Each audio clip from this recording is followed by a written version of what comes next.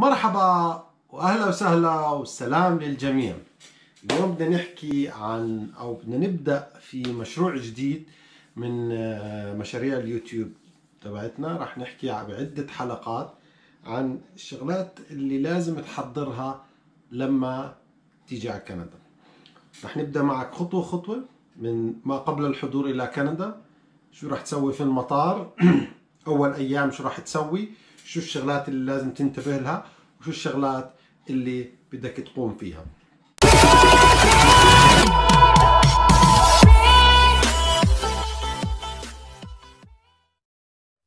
هذا الفيديو برعاية مكتب عمرو لخدمات الهجرة. مكتب عمرو لخدمات الهجرة مرخص من قبل الحكومة الكندية ومختصون بجميع قضايا الهجرة والزيارات إلى كندا. اليوم حلقتنا راح تكون شو الشغلات اللي لازم تجهزها والأوراق وال documents اللي بدك تجهزها آه، قبل ما تطلع على المطار. لازم تكون هاي الأوراق معك تكون عارف شو بدك. آه، في لستة من الأوراق في شغلات يمكن آه، بتكون specific أو أو خاصة فيك أو في عائلتك بدك تنتبه عليها. هاي الأوراق اللي بشكل عام الناس لازم تجيبها معهم. طبعا أول شغلة أكيد اللي هي جوازات السفر لإلك ولجميع أفراد العائلة. تأكد إنه جوازات السفر معك. إذا قدرت إنك تجدد جوازات السفر قبل ما تيجي بكون أفضل عشان آه، هون معظم الوقت راح تقعد فترة طويلة فعشان ما تكون جوازات هاي منتهية حاول تجددها في الوقت المناسب. الشغلة الثانية اللي هي آه، طبعا الفيزا بتكون على جواز السفر فمش حتنساها إذا جبت جواز سفر. اللي هي الورقة بسموها landing documents أو ال landing paper بسموها ناس اللي هم أعطوك إياها في السفارة عشان تقدر تستخدمها لما توصل على الحدود. هاي الورقة مهمة جدا والمهم جدا انتبه انتبه انتبه إنه هاي الورقة يضل معك منها copy طول ما انت موجود في كندا ما تضيعها لأنهم بيحتاجوها يوم ما تأخذ الجواز أو الجنسية لما تقدم على الجنسية ولما تأخذ الجنسية وبيحتاجوها لما تقدم على ال pension اللي هو لما آه، تتقاعد. فهي الورقة مهمة جدا إنها تضلها عندك في مكان محفوظ مع الجوازات دائما okay؟ الشغلة الثالثة طبعا آه، إذا في عندك آه، رخص قيادة اللي هي لسواقة السيارات إذا عندك هاي الرخصة موجودة باللغة الإنجليزية ممتاز. معظم الدول في العالم بتكون عندهم موجودة باللغة الإنجليزية. إذا ما عندك باللغة الإنجليزية ترجمها وجيبها معك مترجم. الشغلة الرابعة اللي هي شهادات الميلاد لجميع أفراد العائلة بلا استثناء بما فيهم أنت. يمكن ما تستخدم شهادة ميلادك الكبار عادة قليل بس خليها احتياطا معك. طلع شهادات ميلاد باللغة الإنجليزية من الأحوال المدنية أو من من وزارة الداخلية. وجيبهم معك. النقطة اللي بعدها دفتر العائلة أو صورة منه. في كثير آه، أحيانا ممكن تستخدم هذا الدفتر. صارت معي حالتين ثلاث مش كل الناس بتستخدمه. خليه معك مش حتخسر. اللي بعدها اللي هي الشهادات الدراسية. شهادات دراسية للأطفال مهمة جدا. ال progress report بسموها هون اللي هي إنه تخرج من الصف الرابع أو الخامس أو الثالث أو الثاني وكيف كانت علاماته. لأنه بتستخدمها لما تسجل أطفالك في المدرسة. والشهادات الجامعية لك هاي مهمة جدا. فالشهادات الدراسية للجميع والشهادات الجامعية. المطعوم الصحي أو اللقاحات بنسميها لجميع الأطفال خاصة الكبار يمكن ما يطلبوا عادة ما بيطلبوها إلا إذا رحت على ال nursing أو ال medical school. الأطفال لازم يجيب معك الدفتر المطاعيم أو اللقاحات أو كيف بتسموها immunization record marriage certificate أو شهادة الزواج مهمة جدا عشان تثبت الصلة بينكم ومتى تزوجتوا. قد تستفيد قد تحتاجها مش دائما قد تحتاجها. شهادات الخبرة لك ولزوجتك ولجميع الأطفال أو الأبناء اللي فوق ال 18 سنة إذا عندهم شهادات خبرة آه، بسموهم experience letters. وال recommendation letters بما معناه إنه آه، هذول الشهادات اللي بتاخذها من من من موظفك أو هيئه العمل اللي أنت كنت تشتغل معها تثبت إنك اشتغلت عندهم بخبرة كذا وكيف كان كيف كان أدائك خلال هذه الفترة. شهادة خبرة من شركة التامين تبع السيارات. كثير ناس ما بتذكروها.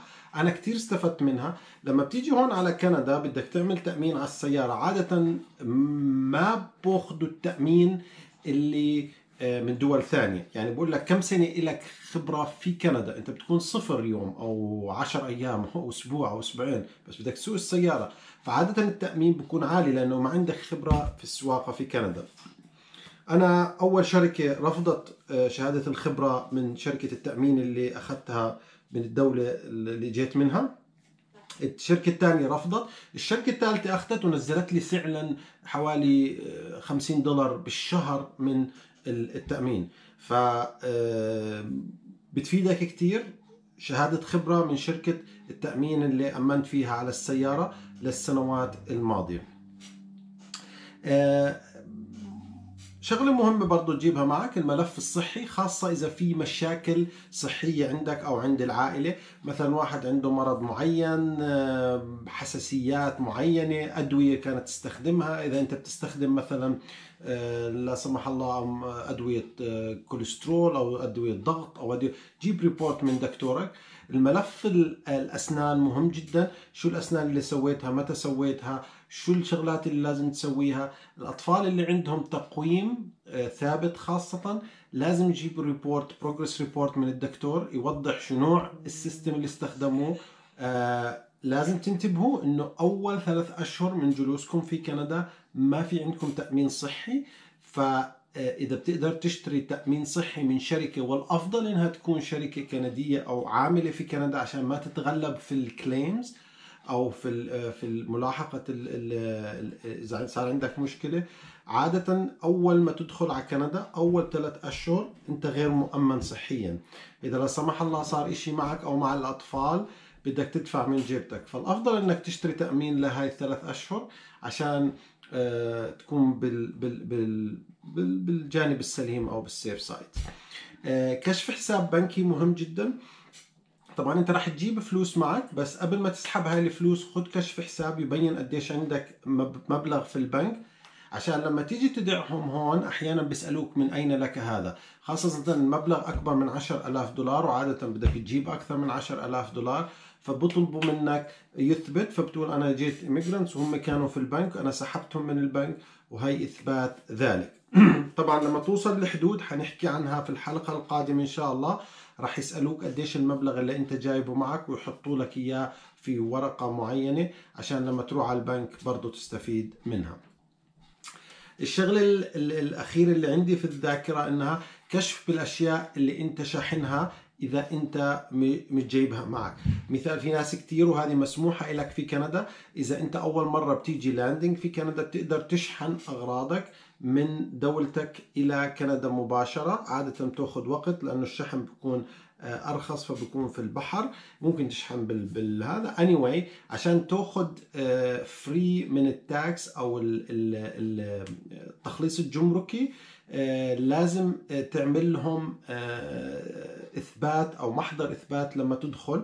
فهم بيسألك ال officers حنحكي عنها في الحلقة القادمة. فلازم يكون معك كشف بهاي الأشياء اللي أنت جايبها أو أنت مش جايبها معك فعليا بس شحنها مثال عندك طقم كنبيات تلفزيون ثلاجة أنا بدي أحكي عن هاي الشغلات ما تجيبها بشكل عام آه، لكن في ناس ممكن عندهم شغلات جديدة حابين يجيبوها.